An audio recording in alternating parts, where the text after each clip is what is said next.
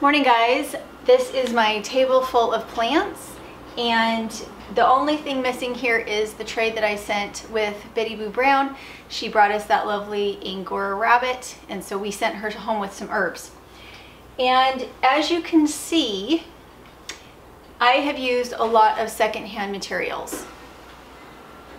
I've used milk jugs, I've used the tops of lids for trays, we've used old tin cans, and sour cream containers. This one looks sad because I forgot to water it, not because of the container. The most expensive thing that I use when I'm gardening is my potting soil and it dries me.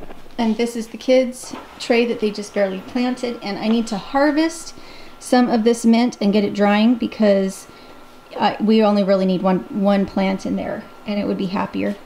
I struggle with onions every every year and I almost killed my borage because once again I didn't water it. When you have this many trays it's really hard to get to everything when it needs it without overwatering or underwatering.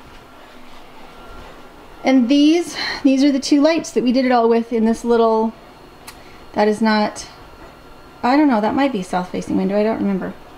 That's how we did it.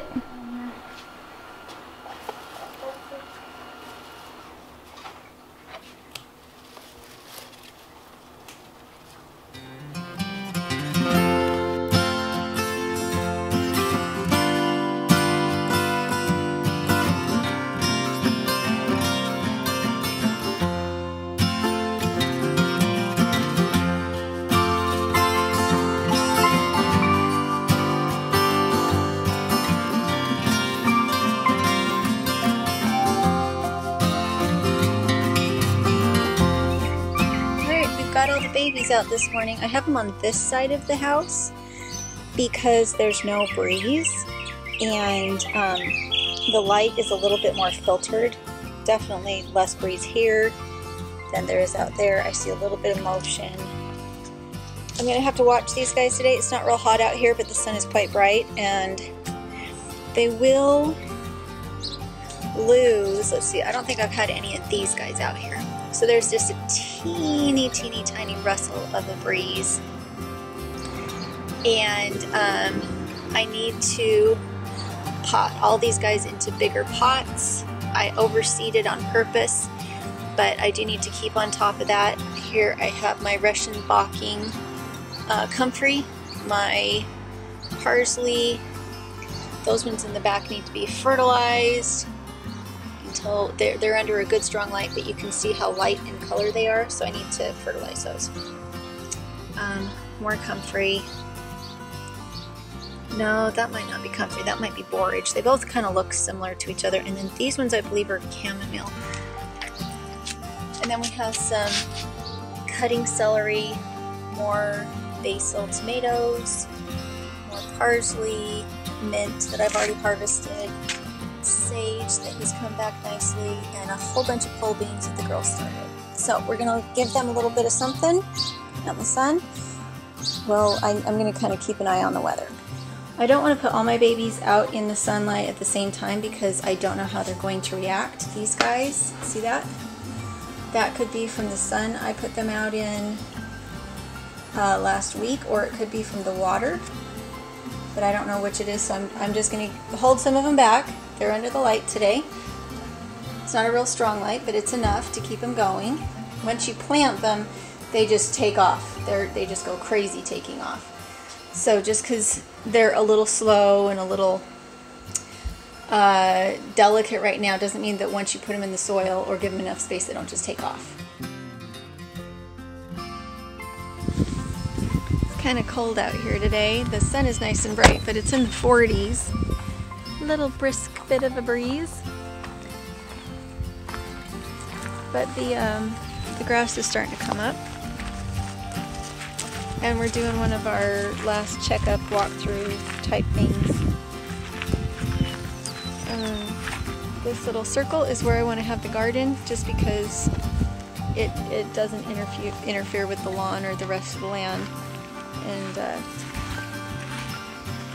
I just like the shape the grass up here on the lawn is not fantastic, so I'm grateful for the grass out in the pasture being pretty good.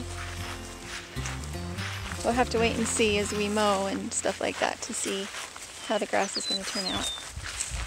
True. I need to reset this one side. I think it's a little bit tilted from what I want it to be. But it's nice that it's already here.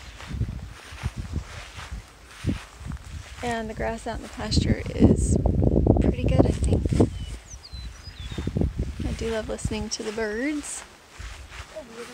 And there's only this one, there's this one spot on the fence that needs to be pulled up and reattached to the posts. But for the rest of it, it's pretty good. Those? Um? Tulips? I don't think those are tulips, are they? What kind of flowers are called? Daffodils? Look at the And I think the white ones are tulips. Did you want to get up on the porch? Might be.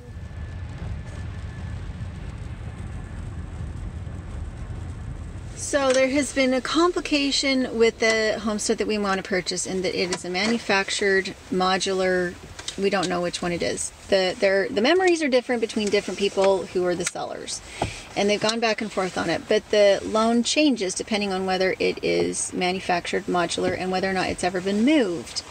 We are here today to look at Manufactured Home Village, I guess, and try to learn some of the rules that go with manufactured homes because we may not get this property now that we wanted because if it was moved, lenders are only willing to lend 80% of the asking price. You have to come up with the rest, and then anybody that we would need to sell it to afterwards, if we decided to move in a few years, they would also have to have a lender that would only give 80% because even though we haven't moved the, the home, the previous owners sounds like they did. So they would have the same parameters as us. We could we could swing it. We could do the 80% down but we don't know if the next lender or the next um, purchaser of the home could which would kind of limit us to people who would be willing to buy the house or be able be actually able to buy the house. So we have to kind of look at that as far as long term. If in five years we wanted to sell it we need to be able to sell it instead of having it be as complicated as it has been for us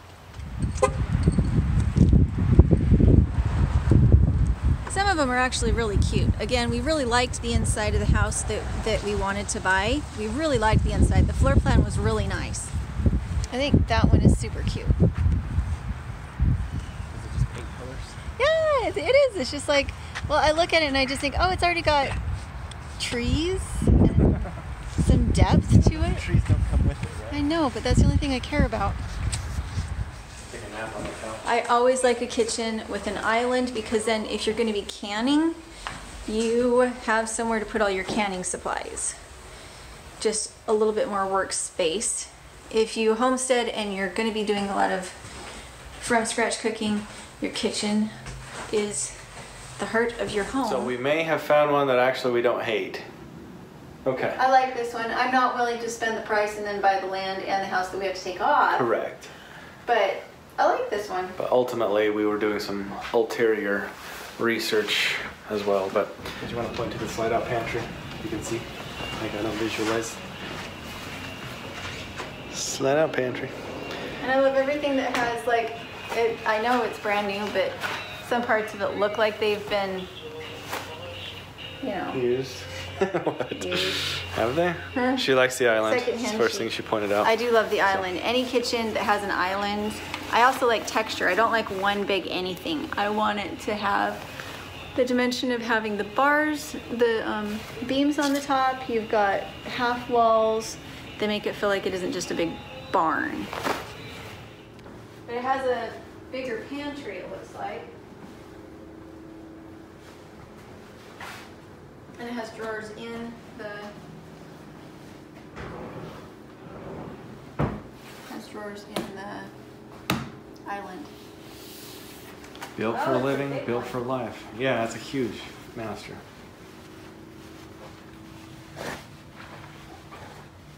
Wow, they have a, a table in the bathroom. Well, yeah, because you got to do some work in the bathroom, Eat dinner, right? play some hard cheesy. Build a table. Build a table. on the table. Yeah. If we didn't like the mobile homes, right across the street is shipping containers. We could go build one of those up. What do y'all think? Let us know in the comments. And go. So this one room is bigger than the off-grid cabin back in Idaho. This one room, they call this the party house.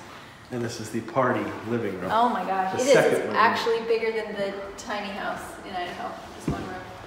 The thing I like about it is that it does not have carpet Every, ev- anywhere And- this place. I see. and it's sectioned off into rooms instead of just really big open space. Mm-hmm. Yeah, they make their bed, their bathrooms as big as a bedroom and you have complete privacy on the actual toilet. A door. Coincidentally, You've got a door. coincidentally, I actually have that on the house It's out there. So, and the Ah, that's bath right. and shower. So one thing for those of you who are looking for a manufactured or a modular home, just know that if you have environmental toxin sensitivity, things that um, irritate asthma, irritate autoimmune disorders, formaldehyde and paints and VOCs and all those things really aggravate those kind of existing conditions. And if you already have sensitive health but you don't have those, they might push you into something more serious. And so, um, one of the reasons that so many people are talking about getting back to nature and building a tiny home and this kind of thing is that they can be more selective about the materials that are used in the home, more natural materials, more pricey materials, so they're going smaller so that they can upgrade the materials that they're putting into their home. So, even though these are beautiful, they're mostly plastic and um, I mean, they really are plastic and they're going to be outgassing for many, many years.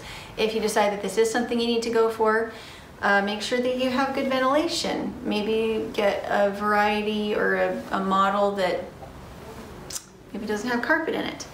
You know, there's a lot of different things you can do to try to get around the off-gassing of the materials in the house, but in the end, it is still going to be outgassing for years. Um, so for, for me, having been in in and out of these houses for the last hour, I'm starting to get a sore throat. I'm getting a little bit lethargic, not cranky, but just kind of not feeling so hot. They did spray the grass out here. I can smell the herbicides. Um, so I don't know which one is actually making me sick. I do have environmental toxin sensitivity, so I don't know which one of those is playing on me now, but I'm getting a sore throat. I don't feel real well. And so I wanted to just kind of point that out to those of you who are looking into this kind of thing. I'm gonna go show the sign. Walking up Yeah. and showing the sign. Yeah, I think that's a good idea. Don't put that in the video. My voice.